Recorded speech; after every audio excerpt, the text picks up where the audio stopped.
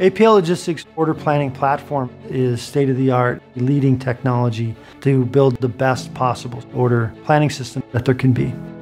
Our approach during the order planning process is to allow customers to actually simulate what an order plan would look like so they can make decisions in a virtual environment before they have to execute. Being able to plan far enough ahead to be able to predict what's going to happen.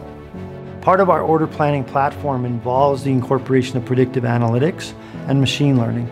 So we have access to all sorts of data sets from ocean behavior, drayage, road transport behavior, vendor factory behavior, and we're blending that all into the order planning system so that we can start to predict the success rate based on the lane or the carrier that the customer would like to use. If we can give you a better plan, you'll have a better success rate.